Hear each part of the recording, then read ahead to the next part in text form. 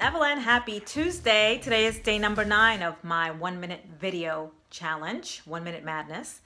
I wanted to just keep going on this whole subject of the things that you shouldn't do as an online marketer on social media, especially when you're out there marketing. This one happened to me. Well, let, let's recap, okay? So on Friday, I talked about not being a thread jacker. Yesterday, I talked about making sure that you don't go around adding people to your groups without really first asking for permission. And today I want to talk about another very interesting thing that happened to me. Well, I wouldn't say interesting, I would say freaking annoying thing that happened to me over the weekend. And for some reason, I don't know if this is coming back. I really didn't get it when it first came out, when uh, Facebook most specifically brought this out, this feature.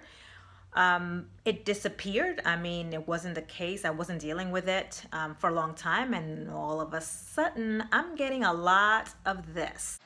Poke, poke, poke, poke. Stop poking me! The good old poke. What the hell is that all about? I don't really get the whole idea behind poking someone. What are you trying to do? Get their attention? Is that what it is? Do you want to have a conversation? Do you just want to poke them for the hell of poking them? What's worse is when a stranger pokes you. Hmm, what is that all about?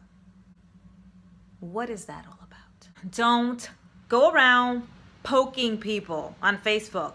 It doesn't even freaking make sense it, it, it really just doesn't. So if you really want to have a conversation with someone, if you if you really actually want to get someone's attention, then what you need to do is obviously add them as a friend, okay? And send them a message. Chat with them. Say hey, right? So that's what I would say. But the whole poking nonsense, it's just kind of creepy. So if that's you, Mr. Poker, don't poke me no more. Okay? Because if you're my friend and you're poking me, I'm going to call you out. Right? If I don't know you, I'm going to unfriend your ass. Okay? So, that's about it.